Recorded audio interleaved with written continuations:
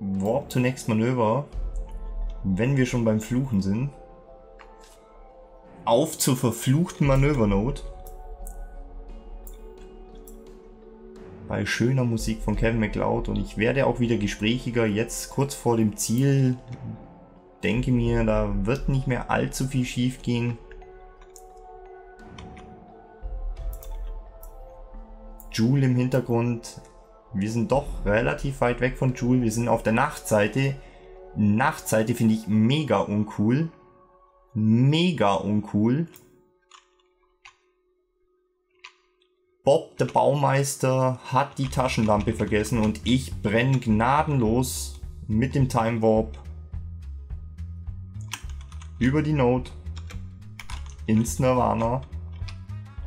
Jetzt so nahe, wo es dann doch eine Rolle spielt. Spiele auch wieder komplett im Dunkeln. Das Thema hatten wir des Öfteren. Das letzte Aufnahme hatte ich Licht gemacht, jetzt nicht. Haben wir es schon? Natürlich nicht, wir müssen 10 Sekunden stabil sein. Ich glaube es ja nicht. Ja, ja, glaube ich. Also da ist er schon, da bin ich ein bisschen enttäuscht. Das sollte schon genauer gehen. Das war jetzt schon wieder nicht genau. Ich erinnere mich da an einen Contract, wo wir ähm, schon eine ganze Weile gebraucht haben, bis wir das genau eingestellt haben.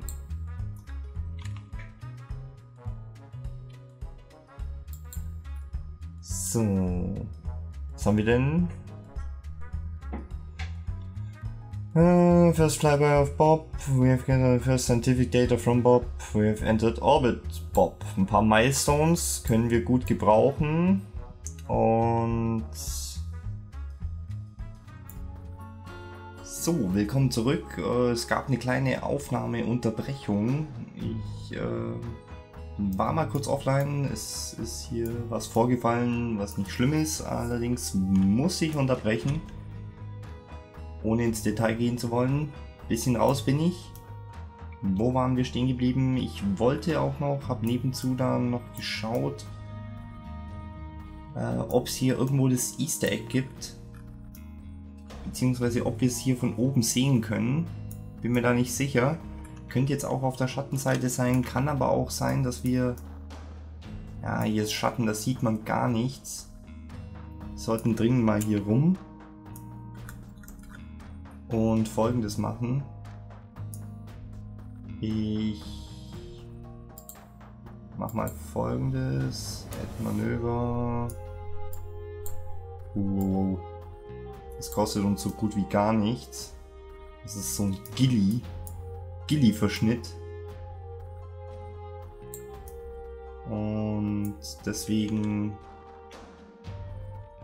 gleich mal hier Warp to Next Manöver.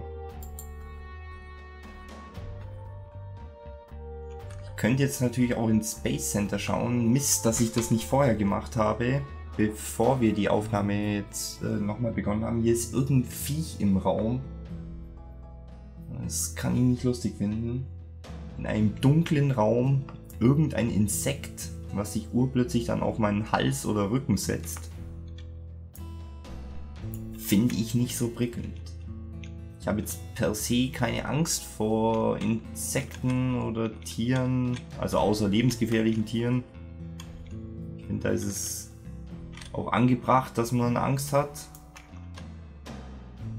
Angst oder Respekt, das ist Definitionssache. Ich muss sagen, ich habe da schon ein bisschen Angst. Ich hänge nämlich am Leben. Und so ein Alligator oder so, der wenn mir am Knöchel nagt, ähm, da kann man nicht mehr nur von Respekt sprechen, sondern das ist die pure Angst, die dann ähm, einen trifft. Ich habe Angst wegen dem Time Warp auch. Ich habe eigentlich nur Angst. Es erinnert mich an Simpsons, wo der Tod zum Grandpa Simpson kommt und sagt, wovor hast du Angst, alter Mann? Und dann sagt er, was ist das zum Geier?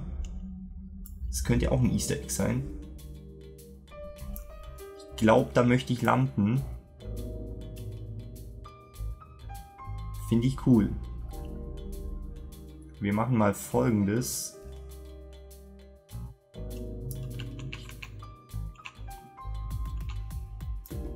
Wir können nicht allzu großen Orbit machen, äh, Time Warp machen. Allerdings reicht er mir aus. Es, es ist nicht Gilly-mäßig.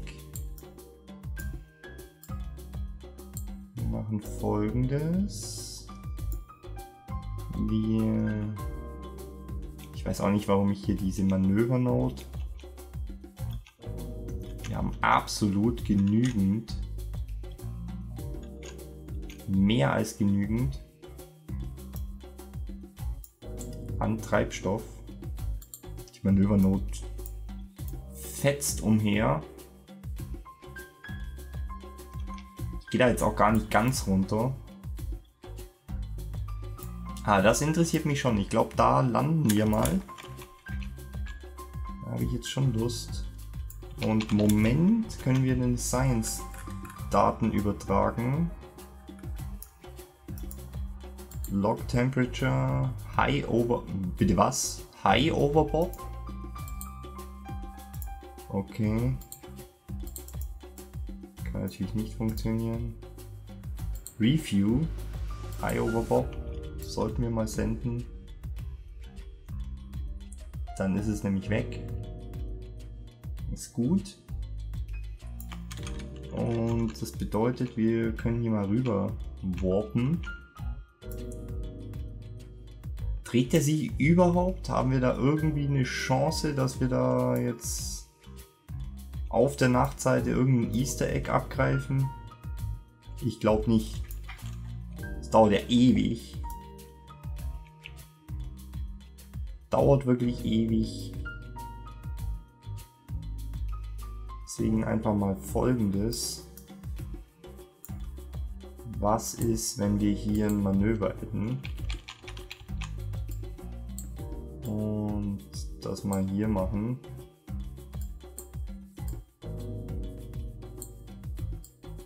Fliege. Ich habe schon das Gefühl, dass es keine Fliege ist.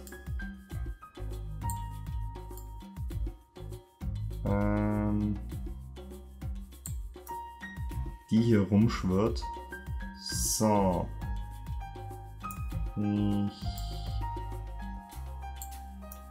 Ich bin mir da nicht ganz so sicher. Sollten wir hier nochmal den... Ich sehe es nicht richtig.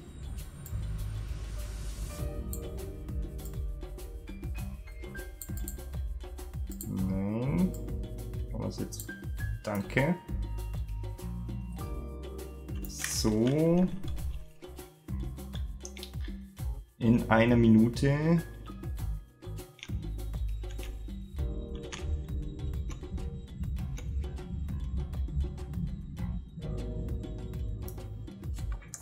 Können wir aber auch sofort starten. Und ich wollte schon wieder so viel erzählen. Ich wollte irgendwas sagen. Ich weiß es nicht mehr. We have entered into the suborbital space fighter Bob. Okay. Ich weiß es nicht mehr. Es wäre eine Menge zu erzählen.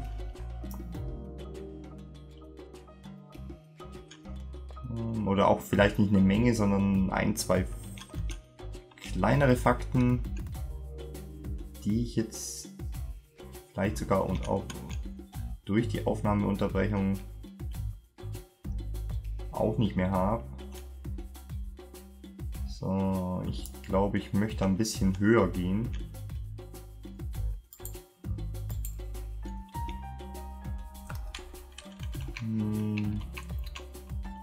Ach du Scheiße. Uhu, jetzt gehen wir auf die Richtung zu. Ja, dann möchte ich in der Tat höher gehen.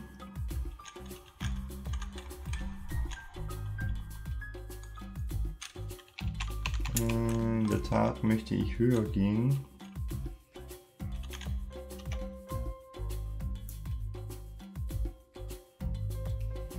Ach, das ist doch ärgerlich, dass wir jetzt hier genau andersrum kommen.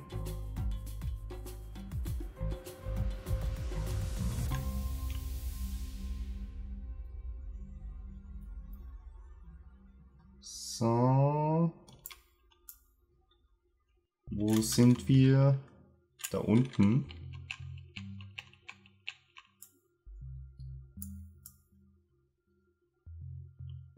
Hat sich jetzt gerade der Nuffball gedreht? Kann das sein? Thema Nuffball. Gutes Stichwort. Ich hab's ja erwähnt. Neu Ach nö. Ach, hör auf. Es gilt. Es gilt. Ich hätte es wissen müssen. Ich hätte es wissen müssen. Wir können aber mal folgendes machen. Wenn wir hier drüber fliegen,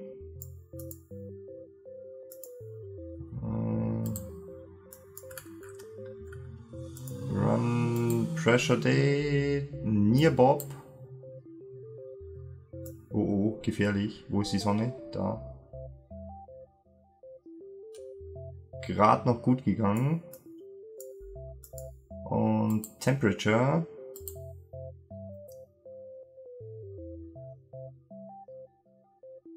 Ja, genau. Super. Gut gemacht. So wünscht man sich's. Wir müssen folgendes machen. Wir müssen leider, leider, leider den Time Warp bemühen.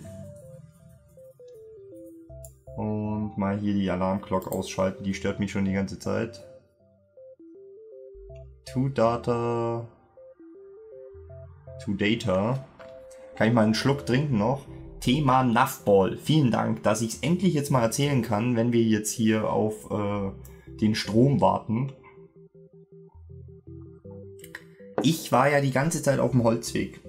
Und ich habe es schon vor drei, vier Folgen, fünf Folgen gesagt, ähm, dass ich da mal mich ein bisschen informiert habe, was es mit dem Nuffball denn auf sich hat. Und Es ist so, dass Norden, beziehungsweise 90 Grad zu Norden, ist immer Osten. Und 180 Grad ist ja klar, ist Süden.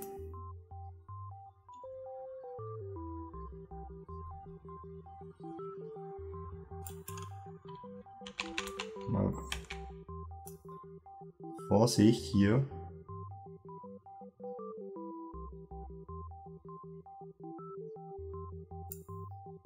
Biome Peaks.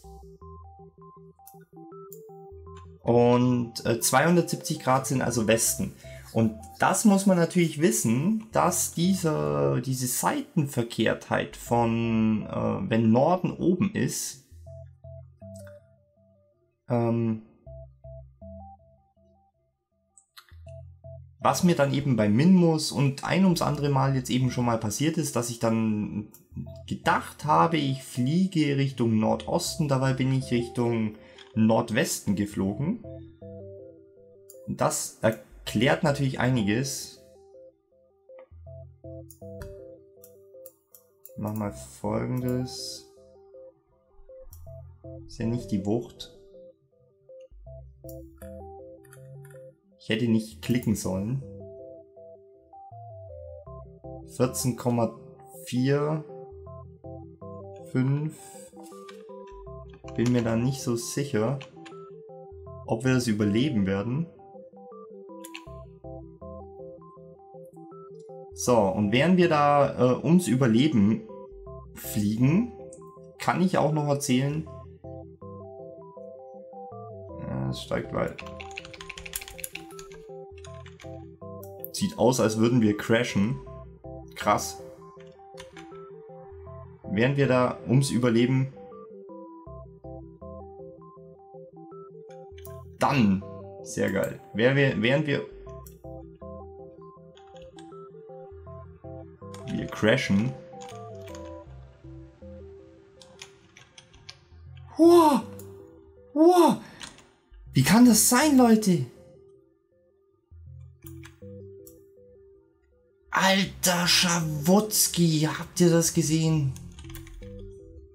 Und das Ganze. straft mich Lügen, nennt mich egal wie. Das kann nicht sein. Wir hätten so aufs Maul bekommen. Aber richtig. Absolut richtig. hätte ich jetzt hier nicht Vollstoff gegeben und hätten wir nicht so Power auf dieser kleinen Engine, auf diesem kleinen, kleinen Ding. Krass, oberkrass. Dabei hat es mir doch hier angezeigt, als hätten wir mehr als genügend Platz. Ich bin sprachlos, liebe Freunde. Ich bin sprachlos. Jetzt wird hier gelandet. Und zwar richtig. Oh, jetzt weiß ich erst recht nicht mehr, was wir erzählen sollen. Ich bin stolz auf mich, dass ich das jetzt gerade noch rumgerissen habe. Allem, wir hatten, wie gesagt, so gut wie keinen Saft. Note in einer Stunde 23 Minuten. Äh, ich weiß überhaupt nicht mehr, was ich erzählen wollte. Mit dem Nachball war vielleicht abgeschlossen. Ähm, wenn ich jetzt hier die Biome sehe, das wird auch noch im neuen Update kommen. Anscheinend kann man wirklich die Oberfläche scannen, unter anderem eben auch nach Easter Eggs. Man kann dann wirklich ähm, die Oberfläche abscannen und dann zeigt es einem ein Fragezeichen an und wenn man da runter geht, dann entdeckt man irgendwas. Das finde ich sehr cool.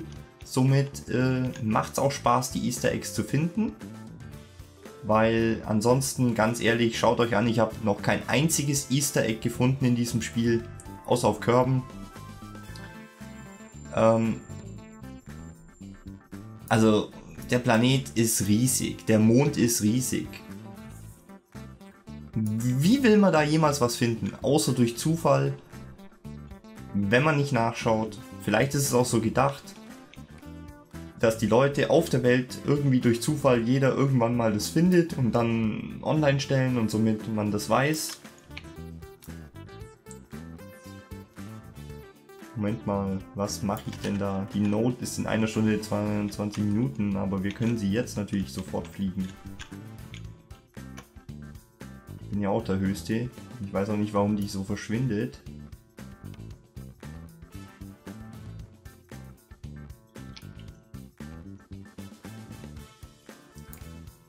So, hier noch ein bisschen rüber.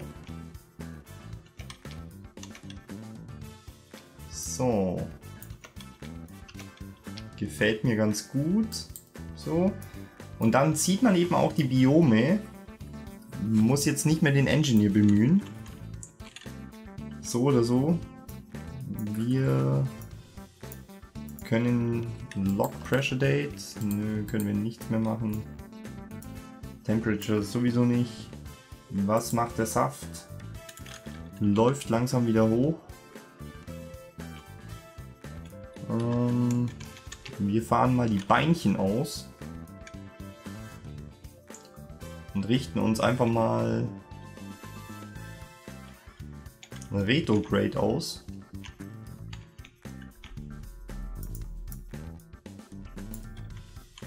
Und warpen.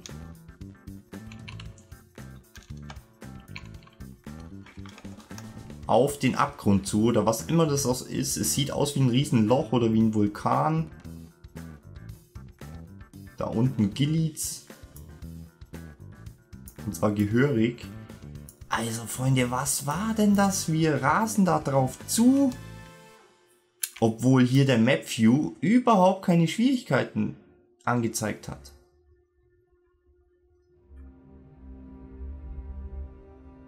So, und wir würden das ich würde es dann einfach so machen, ich würde jetzt hier mal landen. Wir haben nur noch 621 Delta V, das äh, verblüfft mich ein bisschen.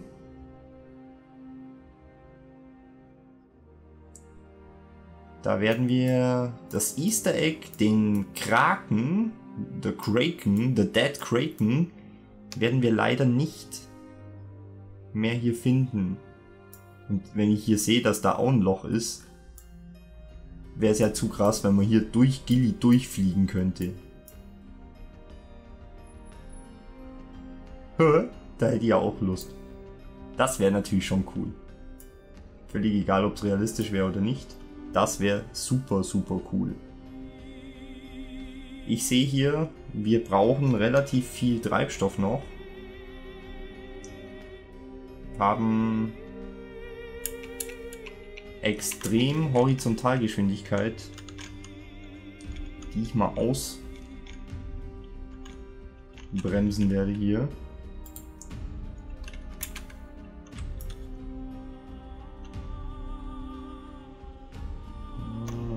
Müssen da schon noch ein bisschen höher. Allerdings nicht so viel höher.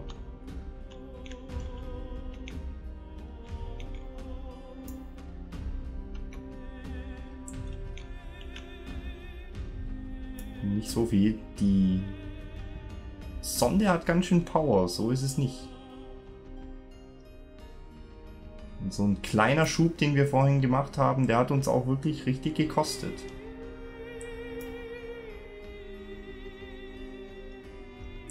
So. Ich kann leider auch nicht mehr reinzoomen. Wir werden aber anscheinend, wie es aussieht, genau über das Loch fliegen. Jetzt nicht ganz mehr.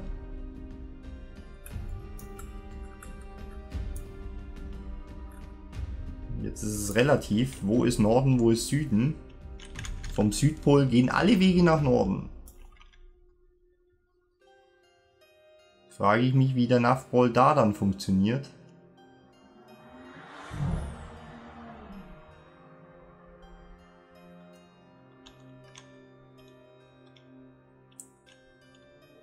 Vor allem, ich sehe es nicht. Ich sehe nichts. Wir haben eine leichte Rotation. Wo könnte es sein? Ist es da hinten vielleicht?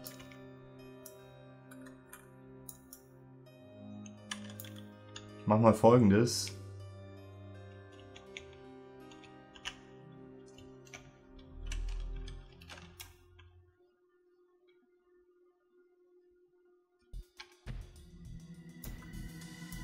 Kann es echt schlecht sehen.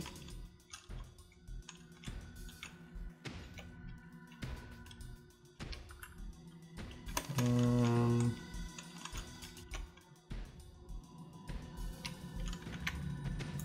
echt schlimm. Glaube, ich fliege da mal hoch.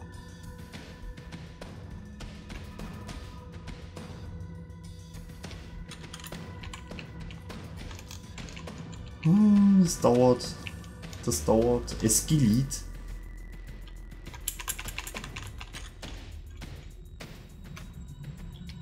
Ist gar nicht so einfach, das zu treffen. Muss ich feststellen. Und jetzt fällt es mir wieder ein, ich habe das auch vor eineinhalb Jahren mal versucht.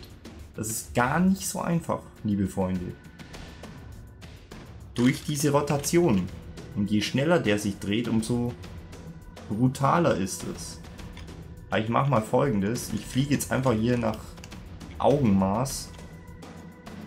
Norden wollen wir nicht.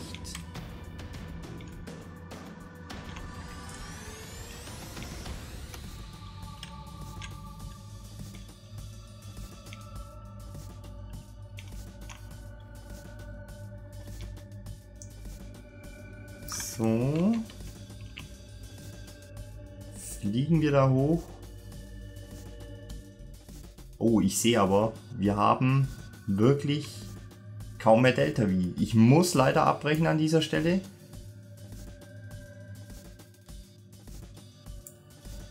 Wenn jetzt hier nicht das Loch irgendwo kommt.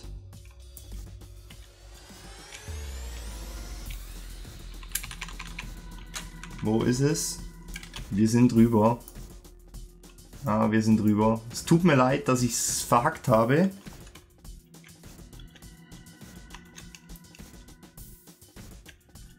Schnell, schnell, schnell die Horizontalgeschwindigkeit weg damit.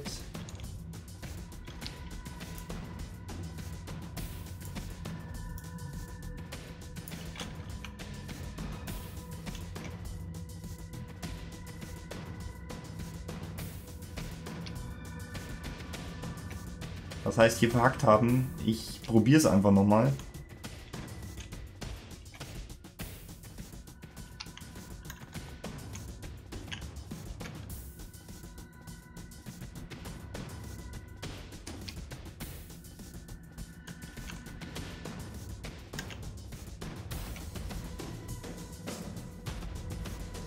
Wir hier genau reinfliegen.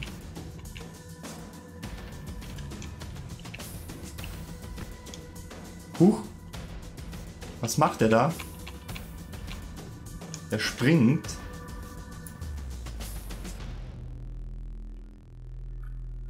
Schaut den Nuffball an. Äh, okay. Das war ganz großartig. Wir haben unsere Solarpanels verloren. Juhu, juhu, juhu. Ah, das war nubisch. Es ärgert mich. Ich dachte, wir wären hoch genug. Wir haben alles verloren. Es ärgert mich. Wir zerstören uns. Ärgert mich. Tut mir leid.